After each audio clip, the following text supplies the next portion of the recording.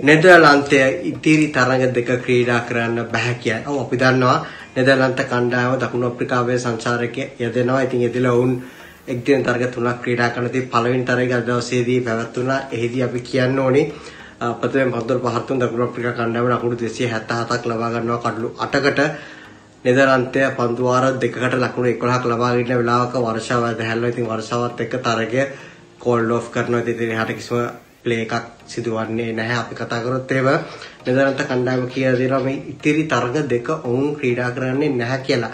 අපි දැක්ක cricket ෆර්ගේ post එකක් දාලා තිනවා. නෙදර්ලන්ත කණ්ඩායම මේ ඉතිරි තරග දෙක ක්‍රීඩා කරන්නේ නැහැ. මොකද මේ දවස්වල අලුත් වේරියන්ට් එකක් කොවිඩ් නව වේරියන්ට් එකක් දකුණු අප්‍රිකාවේ හම්බෙලා තියෙනවා. ඉතින් අපි දන්නවා මේකත් එක්ක ලොකු ප්‍රශ්න දැන් ඇතිලා තිනවා. අපි දැක්ක ගොඩක් නිවුස් අයිටම්ස් යනවා මේ අලුත් වේරියන්ට් එක ගොඩක් ඩේන්ජරස් එකක්.